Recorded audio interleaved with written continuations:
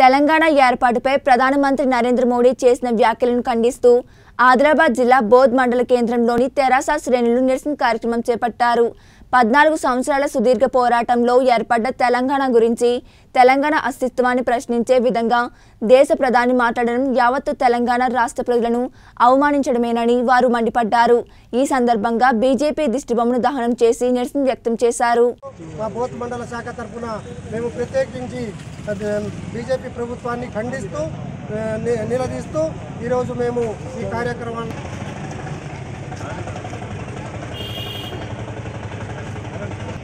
Booth మండల కేంద్రంలో ఏదైతే బీజేపీ గవర్నమెంట్ నరేంద్ర మోడీ గారు నిండు రాజ్యసభలో తెలంగాణ మీద విషం కక్కిండు అయ్యా బీజేపీ గవర్నమెంట్ పంతొమ్మిది వందల తొంభై ఏడు తొంభై ఎనిమిదిలో కాకినాడలో తీర్మానం చేసింది. ఒక్క ఓటుకు రెండు రాష్ట్రాలు అన్నారు.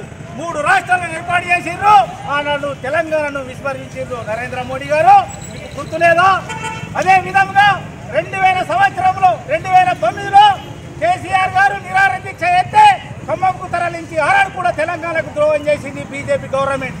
ఇవల్ల మీరు నిండు సభలో తెలంగాణ తలుపులు పెట్టించిండ్రు ఏదో కట్టిండ్రు అధ్యక్షుడు మాట్లాడడం ఒక నరేంద్ర మోడీ మీరు ఒక మంత్రి స్థాయిలో ఉండి ఒక తెలంగాణ రాష్ట్రం ఇవాళ అభివృద్ధిలో దూసుకుపోతుంటే గుజరాత్ నుంచి పోతున్నదన్న తప్పలతోటి ఈ వ్యాఖ్యలు చేస్తున్నావు. నరేంద్ర మోడీ ఒక ప్రధానమంత్రివి నీకు అన్ని రాష్ట్రాలు సమానమే.